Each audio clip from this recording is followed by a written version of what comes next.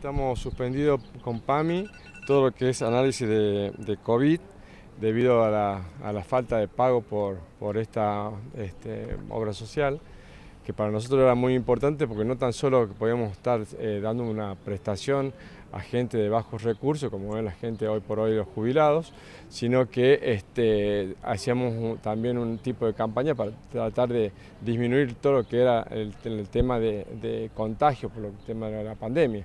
Pero bueno, eh, lamentablemente eh, PAMI en el último mes nos descontó el 98% de la facturación, con lo cual nos vimos obligados por ahora a, sacar las prestaciones de PAMI por eh, isopados. ¿Se pudieron hacer algunas gestiones? Lo venimos haciendo desde hace varios meses en realidad, porque los débitos estos que venimos este, sufriendo son de, ya de varios meses atrás.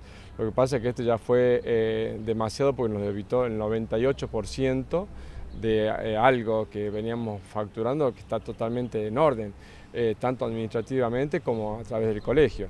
Eh, de 680 mil pesos que se facturó en toda la provincia, solamente pagaron 12 mil pesos. Entonces, este, imposible seguir trabajando. ¿Cuáles fueron los argumentos para realizar este, este descuento de 98%?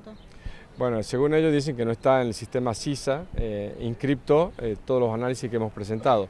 Y nosotros estamos obligados a presentar este, nuestro informe en CISA que es el sistema de integración a nivel sanitario en la Argentina. Eh, al margen de que aparentemente también dice que como los eh, hisopados eran negativos, eh, no eran pagados también porque eran negativos, pero eso no lo podemos saber. ¿Cuál es la situación con el resto de las obras sociales, OSEP?